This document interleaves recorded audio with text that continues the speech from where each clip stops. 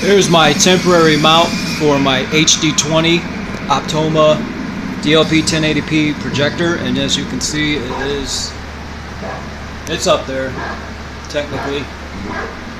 So I wanted to see how it would perform what I was going to get and uh, this is during the day. You can see my shadow is uh, quite a bit finer and this projects directly onto it my Fugetek I love it it was a little bit blurrier. I think there was a little bit of color loss from other pixels. It kind of ran across this way and that, and it was less defined. But they're different technologies, different price points. This one's more expensive used than the other one is brand new. I've paid three times for this used Optoma than I got that uh, Fugetek for brand new. And the Fugetek's going to outlive it, probably. We'll see.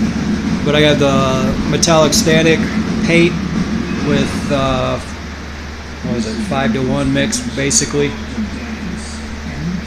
Flat gray paint mixed in to tone it down because it's uh, really reflective.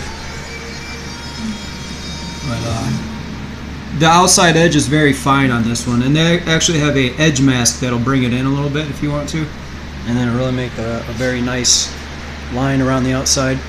But for daytime viewing, you know, it's not perfect as far as brightness goes, but it's really not bad. I mean, I could go brighter. Brighter's always better until you're just like, hey, this is too much. I don't know how many hours are on the bulb. It says 2,000. Maybe they just put it in. I don't know. So it could be an old bulb. So it, it's not necessarily words to live by. But as you can see, daytime viewing, it's bright outside. I have some of it uh, blocked off with some old coats, and uh, that blocked off. Lights are off turn a light on, you can still see it. I mean, it's enough to see. So, not horrible. It's really nice. You can tell the sharpness is a little, um, a little better, and you can still see the pixels on this one.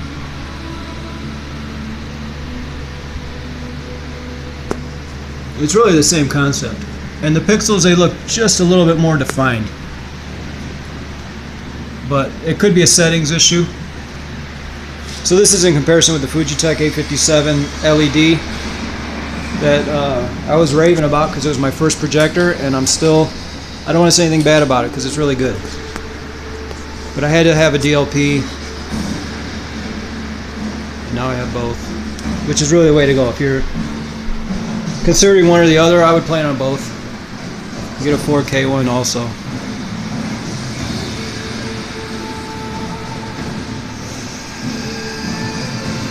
So that's a good TV size for the money. This is a Dominator 2017. I don't know if you're into that. Probably not, but if so, there it is. Anyway, happy projectoring. Hope you find your projector.